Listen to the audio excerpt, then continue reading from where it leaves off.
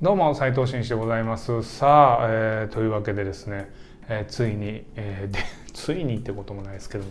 えー、芥川賞ね、えー、第169回芥川賞の候補作というのが出揃いました、えー、何日か前にですね、えー、候補作はこれになるんではないかと全く読まずにですね、えー、予想したところ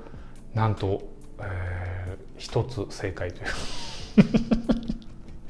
一つぐらいやったらな誰でももうね適当に選んでも当たるだろうという感じなんですけれども、えー、まあなのでまあちょっともうこう意外意外というか正直僕はちょっとまあうんこうだったらいいなというふうな候補作をね、えーえー、ちょっと選んでみたんでまあまあ多分当たらないだろうなと。これまた良くない癖が出たんですよ。ガチガチに予想するのか自分の好みでいくのかっていうのでまたやっちゃったんですよね。えー、本当のことを言うとまあ後で紹介しますけども、まあ、今回のラインナップ割と固めです、えー、ほんまに当てようと思ってくれって言われたらまあ挙げそうな名前が、えー、何人もいらっしゃるという感じなんですけども、えー、早速ですね、えー、紹介したいと思いますけどまあ皆さんご存知だと思いますけれども第169回芥川賞候補作はですね5作品はいまあ大体5作品ぐらいですよね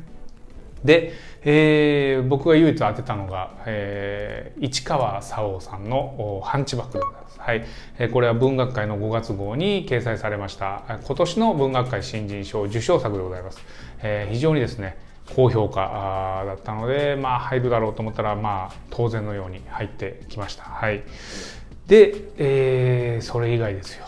ねえー、まあ名前が上がりそうなところで言うともうサクサクといきましょうか。えー、同じ文学界の6月号からですね、えー、のりしろゆうすけさんの「それはまこと」という作品ですね。まあ、これは入るでしょうね。えー、のりしろゆうすけさんが、えー、候補になれば、まあ、おそらく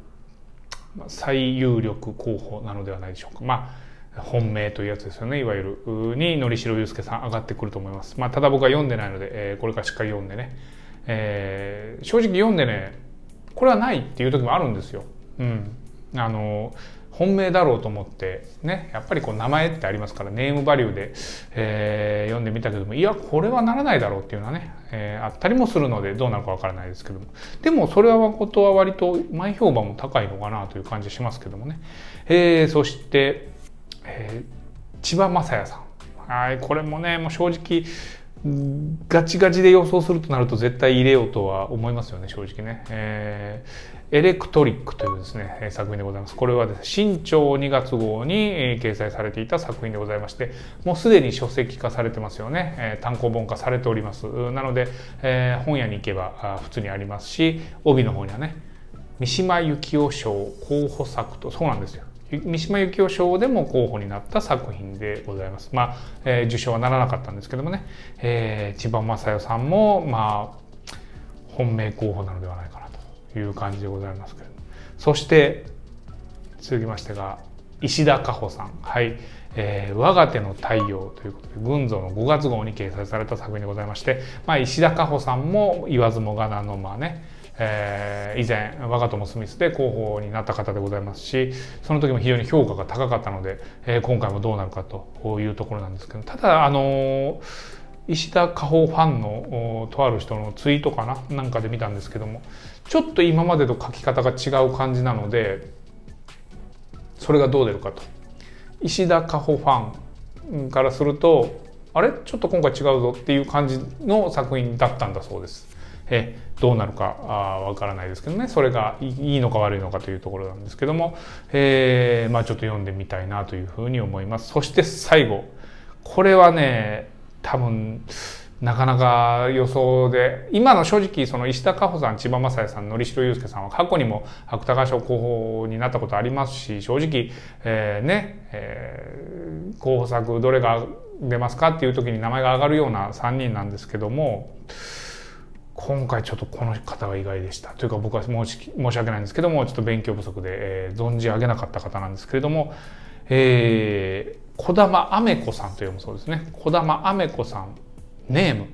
という作品、文芸の夏号に掲載されていた作品だそうです。えー、この児玉雨子さんどういう方かと言いますとハロプロハロープロジェクトの作詞などをされている作詞家の方だそうです。はい。ハロープロというとモーニング娘。ですよね。えー、あの系統のアイドルの歌の作詞をされている方なんだそうです。はい。えー、まあこれ話題になると思いますけど、とても綺麗な方です。はい。えー、だからね、選考委員の男の先生方にはぜひ言いたいですね。下心をどうか持たずに これね、笑い事みたいに言いますけど、ほんまにそういう人、昔はいたんですよ。うん。綺麗な人だねこの人。は、うん、合格させようみたいなね、えー、のが過去にいたという事実はあるんですね。今はそんなことはないと思います。正直そういうとこはフラットだとルッキズムの時代ですから、えー、ですけれども非常に綺麗な方ということで、えー、そちらの方も話題になっております。はい、えー、というわけでね、えー、今回 5, 5個5作品、えー、候補作が出ました、えー、これからまた僕はですね、えー、あの手この手で、えー、かき集めて、えー、読んでで予想というのをまた立てたいと思います。ええー、予想動画ね3回ぐらいに分けて予想動画をするということをしたいと思いますので、えー、いろんな方がまたねこれお祭りですから、えー、参加してね文学 YouTuber がやると思いますけれども、えー、っと前回は前回は僕はちょっと自分の好みでやりすぎたんですよね「開墾地」という作品が撮るんじゃないかとまあ撮るんじゃないかって言いながら撮らないだろうなと思いながら押したんですよね。うんえー、でその前の回は見事的中ですよねでその前は半分的中みたいなまあまあそんな感じなんです3回目か4回目ぐらいなんですよね今回、えー、今回は当てたいと思いますはい、えー、交互期待というわけで、はい、えー、ね、どの作品が受賞するかというのを楽しみだと思いますけれども、その受賞作が決まるまでの1ヶ月間ぐらいのね、間非常に、えー、楽しみたいなというふうに思います。はい、というわけで今日は以上でございます。どうもありがとうございました。